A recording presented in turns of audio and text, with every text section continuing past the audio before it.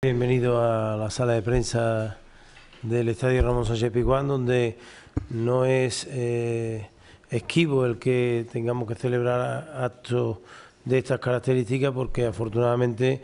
el Sevilla Fútbol Club tiene muchísimas actividades eh, instructivas eh, celebradas con la Universidad de Sevilla, con distintas facultades de nuestro entorno y con institutos de negocio, institutos de formación eh, ahora mismo estamos impartiendo con la Universidad de Sevilla el primer máster de periodismo eh, que se da en, de Despeñaperros para abajo y intentamos siempre eh, colaborar con todos aquellos estamentos, entidades o foros donde se ayude a la formación de las personas. Para el Sevilla Fútbol Club es una tremenda satisfacción seguir contando con IMF Business School para el eh, eh, proveedor de estudios de posgrado y en este caso hemos ampliado la,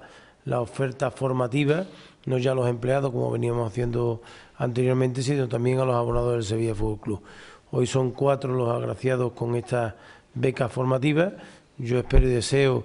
que eh, aprovechen el tiempo y las posibilidades que estas becas les van a dar, porque seguro que adquirirán conocimiento que les servirá para el futuro los hará más formados y permitirá de alguna forma que eh, se introduzcan en un mercado, el mercado formativo laboral, que es difícil tal como está la situación económica del país.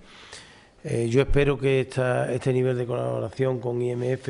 sea un, eh, un, proyecto de futuro que no se corte en este año y esperemos que muchos abonados del Sevilla Fútbol Club puedan gozar de esta posibilidad que hoy plasmamos con estas cuatro personas que han sido agraciados con esta beca.